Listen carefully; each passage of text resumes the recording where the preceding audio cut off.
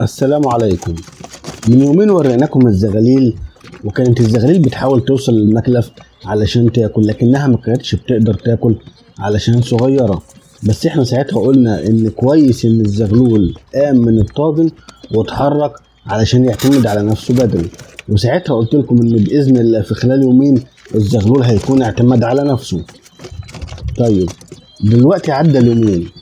هل الزغلول فعلا اعتمد على نفسه؟ ولا إيه الحكاية؟ تعالوا نشوف.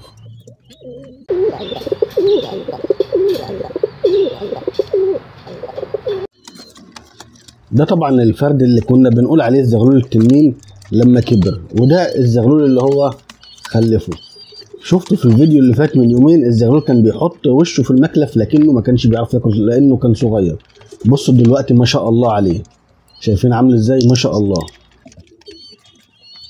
ده اللي إحنا بنتكلم فيه انك تقوم الزغلول من الطاجن بدري علشان يعتمد على نفسه بدري علشان لو انت هتدربه أو هتبيعه أو هتشتريه.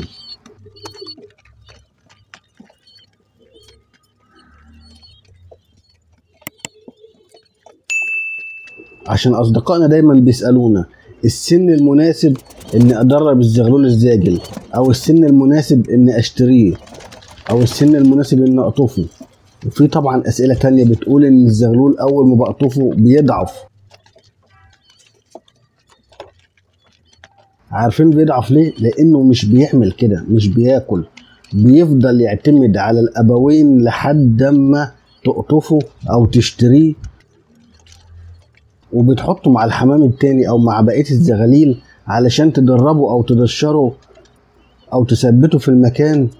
وبيفضل مش بياكل برضه. عشان كده بيضعف. الزغلول بيقعد اليوم كله بيضعف. لكن بالطريقة اللي إحنا قلناها كتير في فيديوهات كتير دايما بنعيدها علشان عايزين الناس كلها تفرخ وتتبسط. طيب زي ما قلنا في الفيديو التاني هل الزغلول ده بس قام ولا إحنا دي طريقة متبعينها مع كل الزغاليل؟ طيب تعالوا نشوف زغلول تاني في نفس السن بتاعه.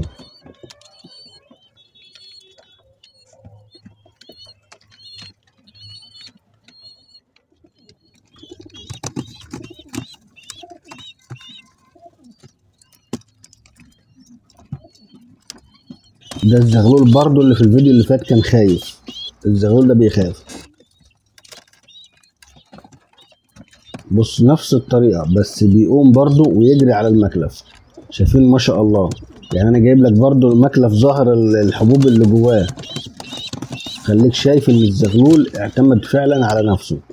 وفي حاجة لازم تلاحظها برضو نوعية الذرة اللي الحمام بياكلها. يعني هتلاقي فيها من كل العناصر الغذائية. مش حاجة واحدة بس ما ينفعش طبعا.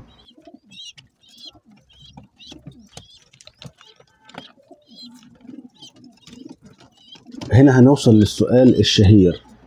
الزغلول أشتريه إمتى؟ أو أقطفه إمتى؟ أنا دلوقتي بفضل الله لو عايز أقطف الزغلول ده هقطفه. كويس؟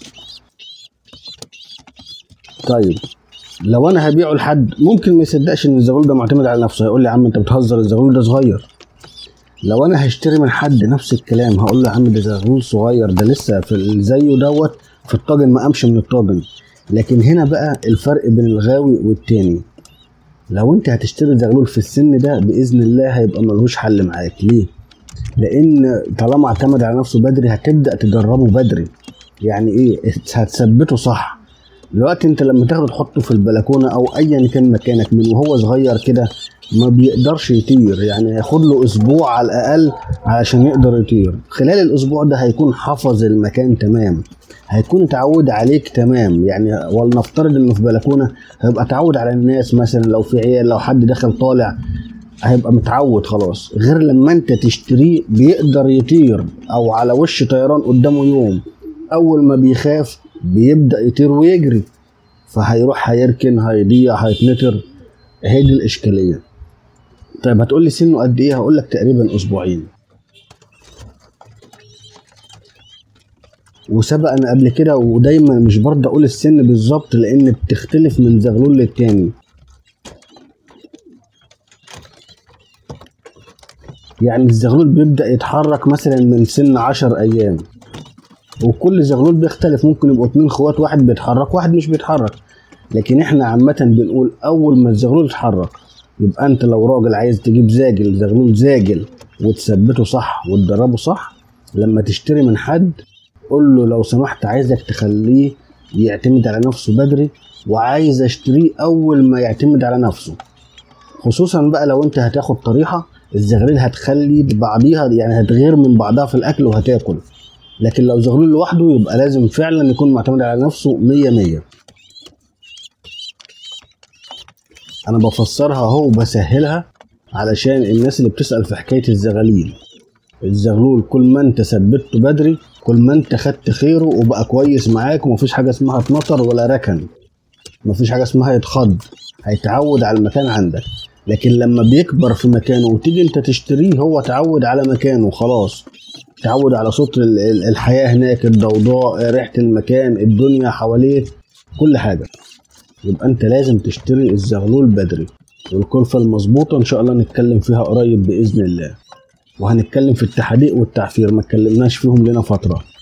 إحنا قلنا لكم قبل كده طبعا الطريقة اللي بتخلي الزغلول يقوم يجري كده ان أنت بتأخر له الكلفة نص ساعة يوميا بحيث إن هو ما يصبرش على الجوع أو ما يصبرش إن الأهل ياكلوا ويأكلوه. طب وإن شاء الله في فيديو قادم هنقول لكم الطريقة اللي بتخلي الحمام يجري على الكلفة زي ما أنتم شايفين. يعني الإضافة اللي بنضيفها على الكلفة بحيث إن هي بتخلي الحمام يبقى زي المدمن مستني وقت الأكل ده بفروغ الصبر المسألة مش مسألة جوع بس المسألة مسألة هو بياكل إيه. ده غير كده علشان تدي صحة للحمام وللزغلول. لأن في زغاليل بتاكل وبتبقى صحتها ضعيفة ده اللي بياكل عويجة بس. تحياتي لكم جميعا. أخوكم عماد حمدي والسلام عليكم ورحمة الله وبركاته.